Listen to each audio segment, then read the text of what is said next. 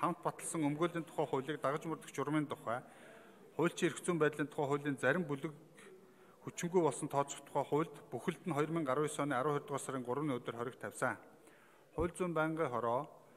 2019 оны 12 дугаар сарын 11-ний өдрийн хуралдаанаараа Монгол Улсын хурлын чуулганы хуралдааны дэгийн тухай хуулийн 31-р зүйл заасан журмын дагуу Монгол Улсын ерөнхийлөгчийн хоргийг хэлэлцлээ.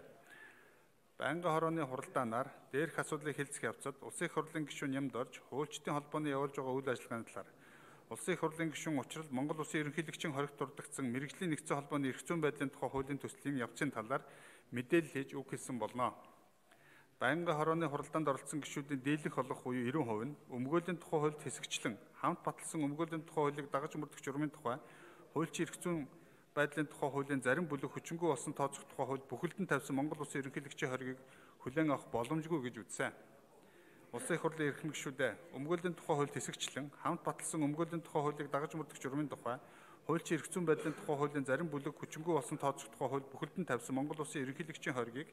хэлэлцсэн талаар хууль зүйн байнгын хорооны санал дүгнэлтийг хэлсэн шийдвэрлэж өгөхийг хүсье. Баярлалаа.